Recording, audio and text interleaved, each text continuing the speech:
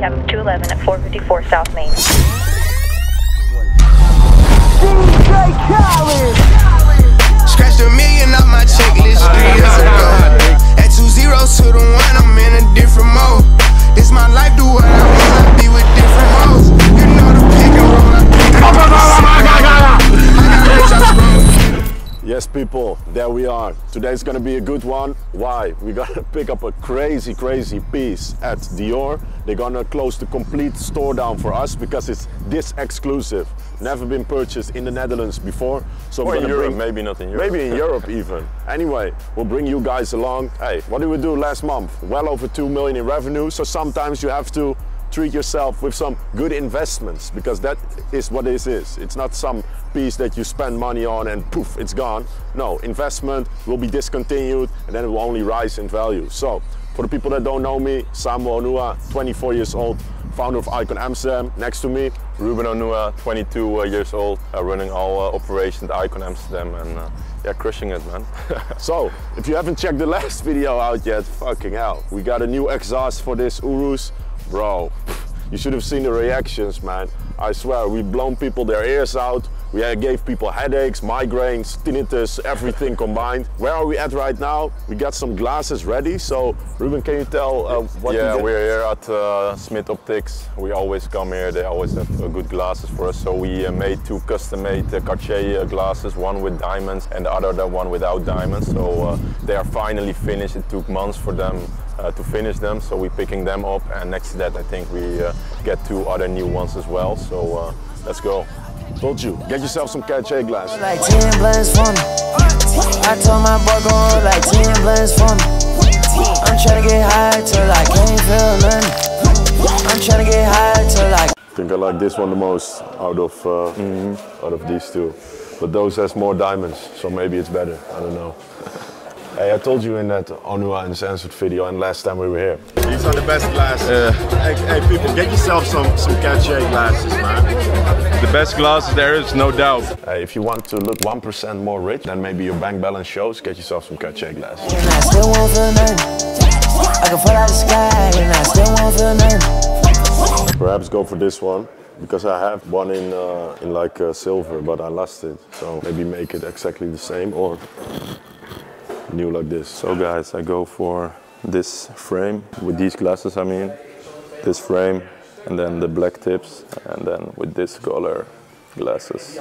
So let's see how it will look.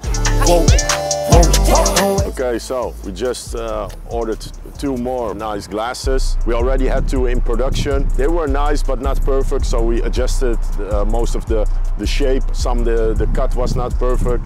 So within one, One week one week, will uh, everything will be ready. In total, then it will be four new glasses of Cartier. Yeah, and we still uh, yeah missing two. I don't know where they are. Someone has been in our car, I think. Motherfuckers, I don't know. You know what happens when you make money? You lost something, instead of like throwing everything upside down to find them, you just step in and you buy new ones. I said, you have it in the system? He said, yes. We said, produce it. Bro, it's just 1.5K. We make that in an hour and a half, bro. No, no, no, way quicker. No, one hour.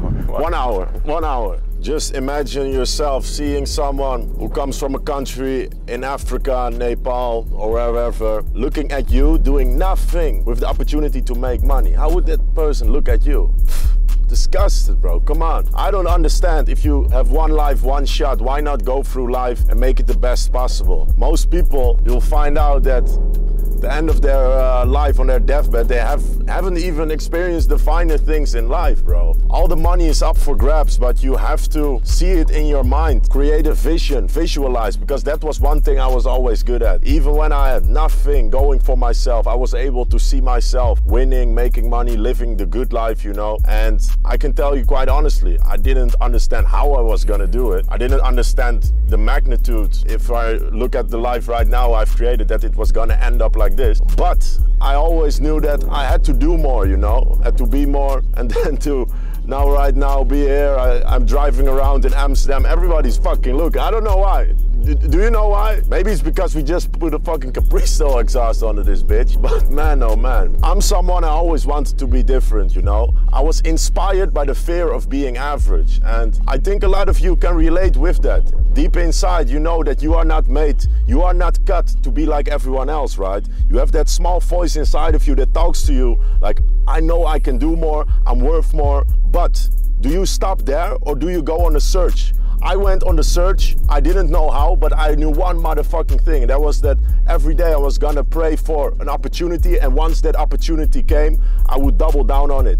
That fucking opportunity came. It was ecom for me and it transformed everything. Then to look back right now in retrospect to see how much lives it has impacted around me, the success it has accumulated for myself, how my brother has transformed his fucking life, how my mom is so thankful. She always used to be stressed out because she didn't know what would end up with their sons, you know, not good in school. My mom, she's a very smart woman, extremely smart. But I uh, found out one thing when I was younger, and that is being book smart or uh, finishing university doesn't necessarily mean that you have money because I grew up not having much, bro. I wanted the finer things, but I couldn't get it. Uh, there was no opportunity around me. Yeah, that was just that was just a struggle. But it opened my eyes that somehow it's not the degree per se. Of course, you can get a degree in, uh, in, in, in physics or become a doctor and you're like, that is the goal. But getting a random degree doesn't mean anything, bro. So fast forward right now, no fucking degree, did over 2 million, no more, two and a half million last month with our Shopify store, buying for millions worth of inventory. And I can tell you one motherfucking thing. They never asked me for a degree. And I'm here sending hundreds of thousands in payments to suppliers never asked me for a degree. So anyway, Ruben, where are we going? Yes, sir. We're going to the shopping street. So it's called PC Head Street in the Netherlands. You don't get head there, but it's you can shop there. If you go, if you go enough times, you get it. It's Amsterdam, but you don't get head in the shopping street, unfortunately.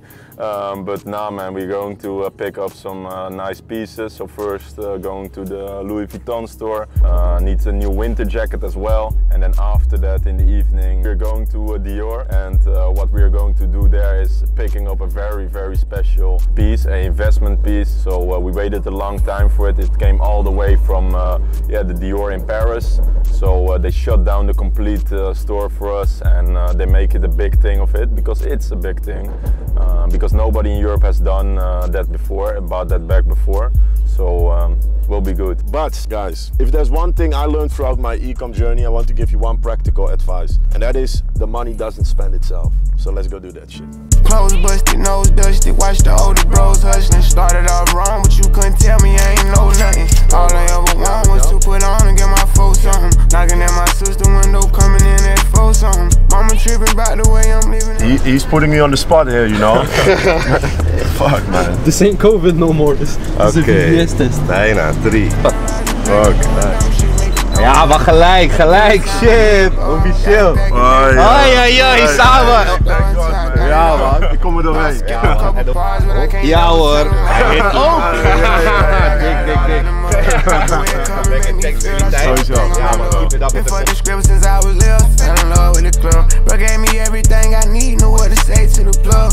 Girl from Louis Vuitton. She said, we have something special for you that you might like. So she came with this crazy watch box. So this is a one of one piece that they have here. Uh, like this, it rarely comes in. So you can even have it with like a, uh name tag on it. So that's what we're gonna do. She also showed some other options in terms of colors. So there's like a, a little bit more lighter blue. Uh, I think it was like cane blue or something. It was named like that. Very nice. Cyan, cyan, cyan. I, I, I always fuck up the name. the same. Oh, hey, Harry Kane, is that you? so uh, we're gonna get a watch box because It's not cheap. she, no, but she she knows you gotta expand, you know, the watch collection. So she knows we don't have a box like this yet, and with time we will uh, probably invest in some more because also this good investment pieces. So uh, And also they hang some uh, nice items for us ready that we will try. Yeah. So these ones, this blue's very sick. This shirt also insane. wow, this one is spectacular. But these two are bangers. We're trying on everything they fucking have because everything that fits good, we buy it. Right. What do you think of the jacket, guys? It's a bit criminal, but uh, no, it's good. It's just well. Thank you. Thanks. Since we're in a luxury store, Jay Gatsby asks, what is one expensive luxury purchase that you think is well worth your money? Uh, watch, watch for sure. A watch gets respect, you know, if, especially if you want to connect on places where people don't know who you are yet. It's very important to, uh, yeah, Especially in Dubai. out. If Yeah. you go to a restaurant or you meet somebody and you don't have a watch on, people will not take you seriously. So, for example, if you uh, meet somebody and you already have a nice uh, watch on, then they're like, ah, this is a person of interest. Maybe I can talk business with him. I need to take that person serious. And if you don't have a watch, they cannot see that from uh, a mile away. They first need to know you. So, definitely uh, one of the best. Appearance, appearance matters a lot. That people underestimate this shit. I tried to style myself properly since I was young because the better your appearance, the more confidence, the more confident you are, the better you act, the easier you do business, the easier you open up to people. People want to connect with you if you are in that that nice confident flow, you know. So a watch definitely does that shit, and it's a a trophy. So that's what I would say. Nick Irov asks, what niche can you recommend for nowadays? The, best niche and the most underrated one by all fake ass gurus because that's what they are. They, they, they talk a lot, but yet they don't know shit. The best niche and the most underrated niche is fashion, hands down. Well, we are in a fashion store. I sell fashion, Ruben sells fashion, and 70% of my clients sell fashion because it's the biggest niche. People can have their closet full with a bunch of clothing, they will still buy more. Your mom buys uh, fashion, your grandma, everyone buys fashion. And people, they neglect it because they think, oh, you use a dropship model, so you will have returns and this and that. Bro, it doesn't matter if you, if you, You have just returns. need to have a good backend. And next to that, the great thing about fashion is the returning customers. We have every day 50% returning customers. Also, for example, when we send the email out, we can easily do 50k with that email only because we have the returning uh, customers. They see a new color or a different new item, they will just buy it, and you don't have that in uh, all other niches. For example, in the home niche, also a good niche, but you don't have that much returning uh, customers. So that's why I think fashion is one of the best uh, niches. For sure. So go after it or stay poor, stay broke. Sin Official asks, how to be consistent with making sales on Facebook ads? Tell the ad, ad structure. Yeah, the structure that we use is uh, CBO, no targeting. That's also what we recommend for all our clients. It's very easy. You just set up a CBO, uh, do no interest. Also, you don't need to target on a man or a woman. Just leave everything open, and uh, then you do uh, one ad set in there, uh, and with Tree Creative, and that's the best technique. And just for your information, do one CBO per product if you are dropshipping, and do one CBO per collection or for your whole brand when you have a more branded store, you know? Keeps it very simple. When dropshipping, you of course test a lot of products, so it's better to have CBO per product because you then can easily see how it's performing, scale it up, or of course kill it if it doesn't get the desired results. And next to that, what's important to keep consistent with your Facebook ads is you don't want to scale recklessly. You always want to have a solid structure when scaling up or down. So how we do that is we uh, scale up or down with uh, 25% every uh, day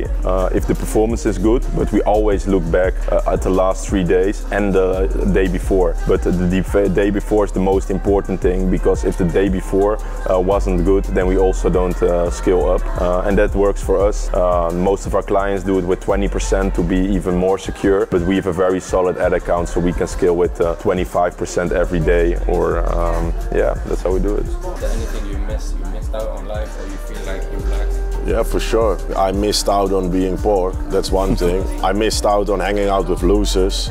I missed out On shitty parties, sh- shitty girls.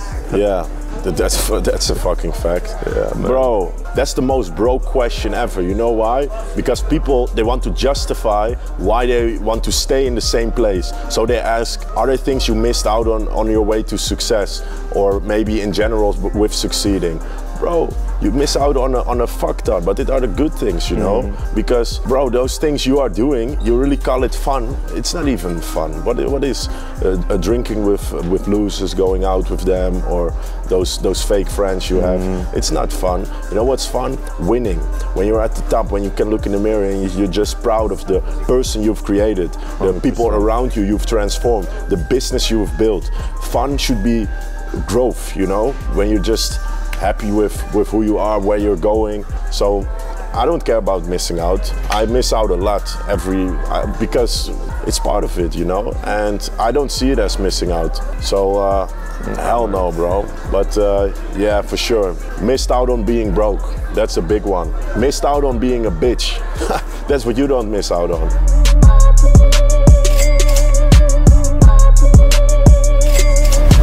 So there was a little 10 or 11k. I cannot even calculate properly, man. The iPhone does it for me. But Ruben, what we do yesterday? 85k euro, so that's uh, like 90, 95k dollars. 27k profit. And like I That's how we said, there's one thing I learned: the money doesn't spend itself. Sit up, never like you know it's special packet with the automatics. We gon' send them to heaven. Wait, wait, wait,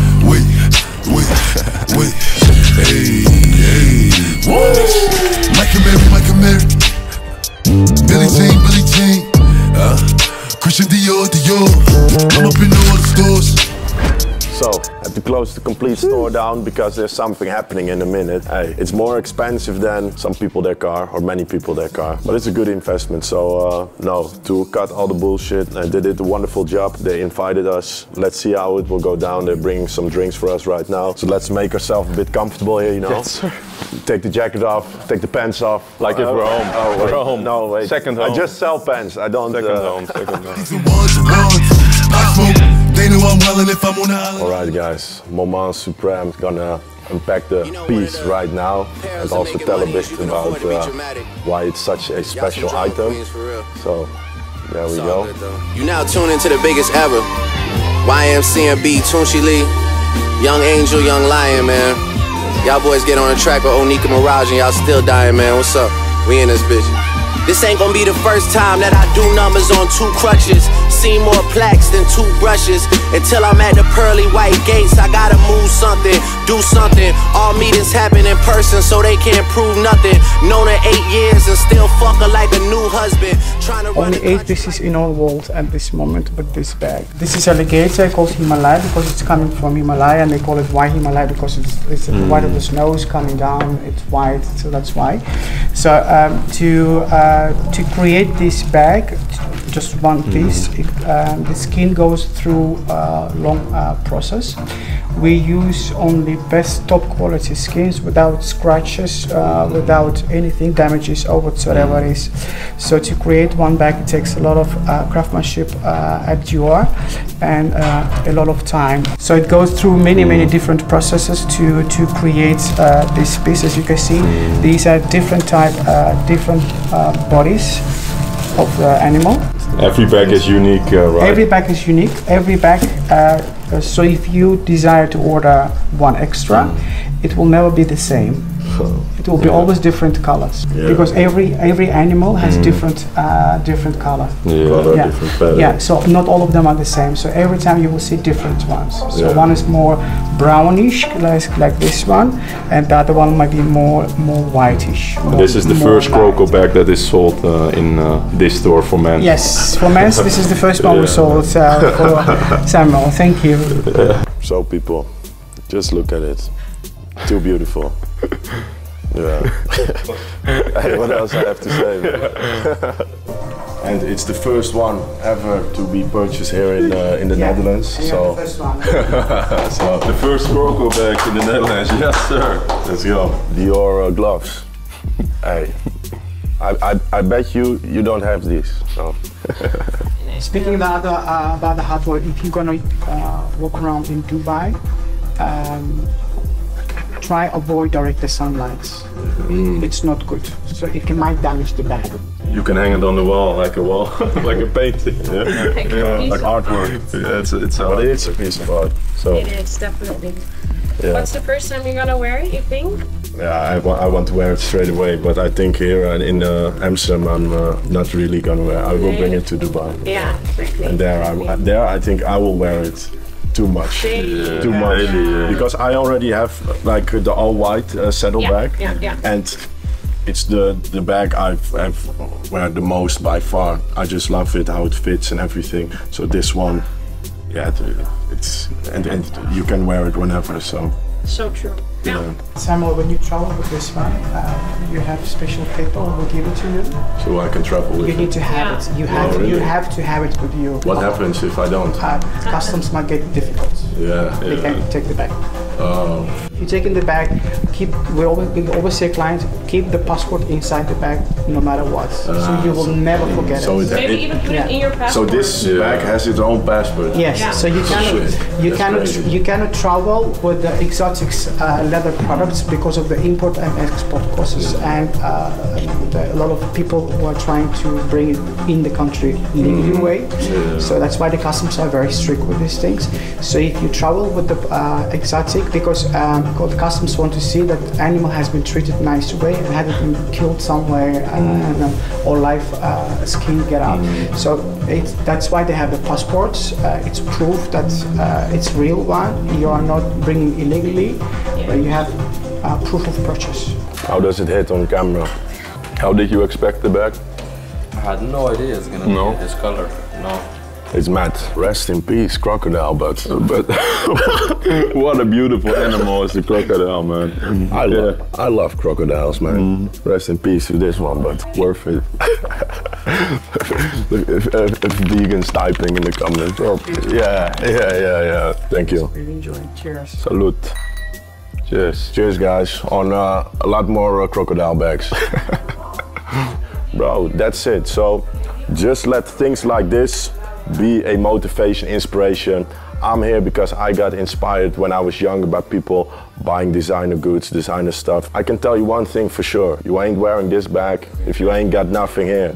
You ain't got no value. You ain't made sacrifices to become a person of value and achieve success, you know? So that's also what it shows. Same with a beautiful watch, same with jewelry. Go for it, be different. I was always inspired by the fear of average. That's why I'm here. Let's go. Run the country like Putin one day, but who's rushing? Who's bluffing? For real, who you hugging? Who you wanna ain't be playing loving? games. I play 48 minutes on a torn meniscus. Who's subbing? El Chico Luxury. Wanna see my niggas ball so bad, I started up a league. Fuck with me, you niggas can't trouble me from the double tree. Step your sweet shot. Yes, sir. So, put this bitch in front of. Yo, guys. We put it in front. Let's load it in. That's when I had to hit her with the nice to meet ya. You niggas think you doing damage, you just hyping me up. Face who? I can see a wall of y'all, all of y'all, and run straight through. Trust is up.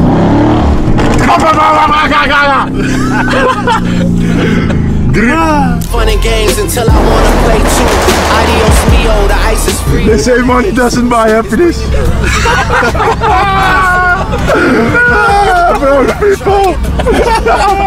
Back garage. None of shits a dodge. None of this shit's a facade. None of this shit's a. So, that was the fucking video. We just spent $60,000 in the PC Hooftstraat. Man, crazy. Did you see that Himalaya bag? Unreal. First one in Netherlands ever. So, subscribe to the channel. 100k subscribers very fucking soon. And because it's Samuel Ruben Onuha, want to do something special. Once we hit 100k subscribers, I will take one lucky subscriber with me in the Euros. PC Hooftstraat. And I'm gonna drop $10,000 on that motherfucking geezer. Make him drip out top to bottom.